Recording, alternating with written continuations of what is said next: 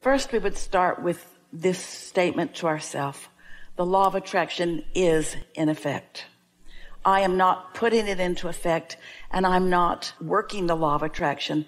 Actually, the law of attraction is responding to me. So in order to receive beneficial response from the law of attraction, I've got to be offering beneficial vibrations. And how do I know that I'm offering a beneficial to myself, my self-interest vibration? It feels good when I offer it. It's either fun or interesting or fascinating or exciting or loving or appreciative. It feels really good. So when I am feeling good, now I'm entering the energy field of attraction and I'm entering it with deliberately activated marbles that will attract to me things that will please me as they manifest. And it is a sure thing that they will manifest. And it's a sure thing that they will please me as they manifest. They might surprise me while they're delighting me because it might be a bigger, more accurate, more all-inclusive creation than I even knew that I had set into motion. My capacity to allow is what's growing. My capacity to allow myself the blessings and creations that I've asked for.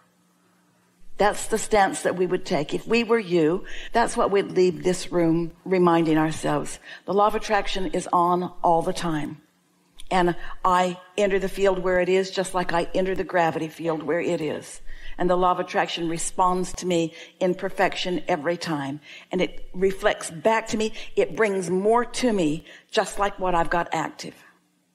So if I'm running around ornery, I'm getting ornerier most people have a kind of mixed bag, so to speak. You're happy, you're sad, you're worried, you're not. You're all over the place. You are conditional creators. You're conditional lovers because you wait for the condition and most people offer most of their vibration in response to what they are observing. So you want to be better selective sifters. Like if you turn on the news and you feel like you should because you want to be a responsible citizen. You want to know what's going on. So you turn it on because you want to be informed, whatever. And it feels terrible to you. That means that your inner being isn't telling you to turn it off. It means that your inner being is seeing what you're seeing from a different vantage point. Now let's carry this out. Your inner being is not already deciding for you what you should do. Your inner being is in alignment with what you have already decided that you want. So the purest form of your decisions are what your inner being is holding. And everyone has an inner being. And so it's true for everyone. And the law of attraction is sorting this out. Most people are not offering their vibrations on purpose. They are offering them in response to what they are observing. So these are the things that we would do if we were standing in your physical shoes. We would observe because you can't help it. There's stuff around and you like to observe. You like to see. You like to know. You like to learn. You like to be part of things. So you're going to observe. We would get out ahead of it by deciding as we walk into a segment, I'm going to look for what I want to see today, no matter where I'm going, no matter what I'm doing, no matter who I'm doing it with, it's my dominant intent to look for what feels good when I feast my eyes upon it. Because that means my inner being and I are on the same vibrational wavelength. That means that what my inner being has gathered on my behalf, I have access to. You were non-physical energy before you came into this body. And even as consciousness entered your body, the larger part of who you were remained non-physically focused. You refer that often to soul. We call it source. We call it your inner being, but that part of you exists at the same time. So here you are walking around in your physical realm, having exposure to life and having opinions. That's the most accurate word that Esther can find. So you see something and you have an opinion about it. This is what we really want you to hear. At the same moment that you're having an opinion, your inner being is too you're feeling what you describe as fear, your inner being is not doing that. Your inner being only knows the positive aspects. So your inner being will never negatively attract on your behalf ever. So your inner being has an opinion that's based on love and a lot of experience and a lot of vetting of a lot of lifetimes and a lot of exposure to a lot of experiences where you've just come to know your own power and you've come into alignment with who you really are. And then there's you in your human form, not learning, not because you need to learn that, but because that's just the way that it is. When you look at something and you shout no at it, this is a universe that's based upon attraction, on inclusion. There's no such thing as no. So when you shout no at something, you're actually shouting yes at something you don't want. You're actually calling to you what you don't want. But guess what? Your inner being is never doing that. So the big stuff is never going to happen like that. Oh, you can mess up your life and you can have a miserable time, but you're not going to destroy the world with things like that. This world is not under threat or at risk. The well-being is dominant. All that's happening that you would call negative or unwanted, all that it is, is a human or a whole lot of humans, because beasts don't do it, hardly. Some of them, when they're domesticated, they begin to act a little more like you, but mostly they're pure positive energy. And so when you push against something and your inner being doesn't, you feel that tug of war you feel it in yourself. And so what's gone wrong? If you want to say something's gone wrong, you've used this thing that you have observed, that you've concluded that you don't want, and that's fine because when you know what you don't want, you know what you do want. When you know what you don't want, your inner being really knows what you do want, and your inner being will never join you in what you don't want after you've defined what you do want. And so your opinion that makes you feel bad is because your inner being is looking at exactly the same situation from its point of view of love. Now, we want to carry that a little further. Think about this. Everyone you know, oh, everyone who has been in physical form that you've known, you're dearly not so departed. They've reemerged into non-physical. And in their transition, they have left behind all doubt and fear and worry because in that transition, They've joined their inner beings and they are resistant free and they are pushing against nothing. And they know you. It's not that they remember you because relationships are eternal. So they're focused with you right here and right now, your inner beings and all those dearly not so departed. When you choose to really focus on what you don't want, and you decide to beat the drum of that, to join the protest rather than the advocates, to push hard against something rather than identify what it means that you want and then think about that. You pinch yourself off from all of that. Those emotions feel like loneliness. They feel like fear. They feel like absence. They feel like unwanted because you're holding yourself apart from everything that you really are and everything that you really want.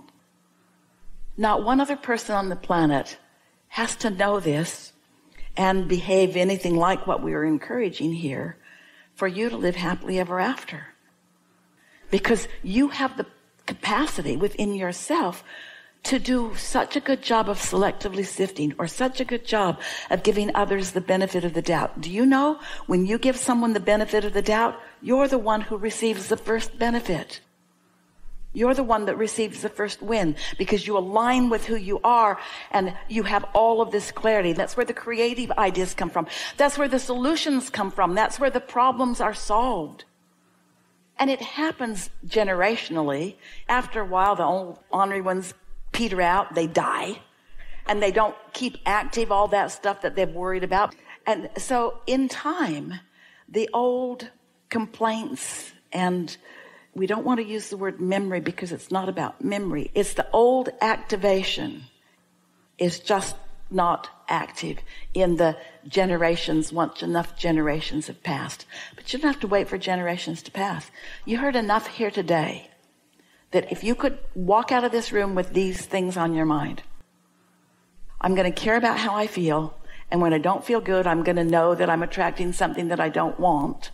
And I'm going to know that my inner being isn't in on this. So it won't be a really monumental attraction. We want to say to you, when you hook up with your inner being, one who's connected like that is more powerful than millions who are not. But most of the world is running around with puny, paltry attraction and then just bickering with each other over the spoils of what they are disallowing each other, what they're disallowing of themselves and blaming on each other. Everything that everyone wants is in this vibrational reality. And all of it is possible. And if as humans you'd stop bickering over what should be allowed to be created, and just mind your own business and create what you want, then you wouldn't deprive yourself of creating what you want by being mad about what that one's creating. And in what humans want to call a perfect world, everyone would get what they want. But we want to say it's already a perfect world because nobody can mess up your life. Nobody. Now we know this is a particularly hard time to hear that because it feels like there's a whole lot of assertion going on. A whole lot of people walking into a whole lot of places and doing a whole lot of things to a whole lot of people. But it couldn't be happening if there were not a vibrational expectation so many people are being scared by so many people about their well-being. They're not walking around feeling free and safe. They're walking around feeling scared. So no one can say it's not part of their point of attraction. We're not saying they got it on purpose and we're not saying that somebody else didn't influence it. You are all influencing whatever it is that you are offering. That's why you come as teachers. You come to align with wanted and show through the clarity of your example how to live what's wanted. And when someone wants to know how you got that, you can then explain it to them. But it's a big world that wants you to choose a side. You're either for us or against us, they say about so many things. And we say anybody who's against anything is depriving themselves of what they're for. It's just the way that it works. We want you to look into the world and see what's going on. And we want you to briefly, briefly, and we mean briefly, Esther. We mean briefly. We mean briefer than you're doing it, Esther. Have your step one moment and know what you don't want and what you cannot stand and what you cannot stand. Have your fit and have your moment of hate and despair about it, but don't live in it. Have it and launch all those rockets of desire about children eating every night and children going to bed and feeling safe and about the world being a place that people want to live and launch all those rockets of desire and then as soon as you can give your undivided attention to the vortex version that hasn't manifested yet because everybody's so busy recreating what they don't want. They're so busy looking at the horror of what's happening that it just pops up in another place, in another place, in another place, in another place. They worry about guns, so they just get more guns. They worry about more people being crazy and misusing the guns, so more people get crazy and use the guns. It's all about the law of attraction. And you have power that you aren't exercising because you are observers of what is rather than advocates of what you've decided that you now prefer. Look forward into what's becoming and watch how the universe will deliver for you what you are asking for. And don't wait for others. Don't chastise them when they don't get it. Don't be mad at them if they misunderstand. Don't push against anybody. You just do your thing. And we want you to know it doesn't take more than a room full of people about this size to look into that vortex of what is wanted today and to begin attracting because one is more powerful than millions who aren't to begin attracting what you're wanting.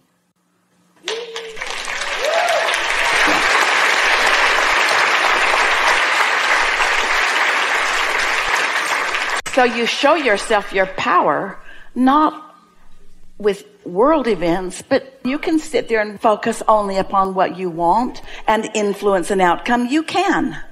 You can. Just don't tell anybody because they'll lock you up, but you can. You can do that.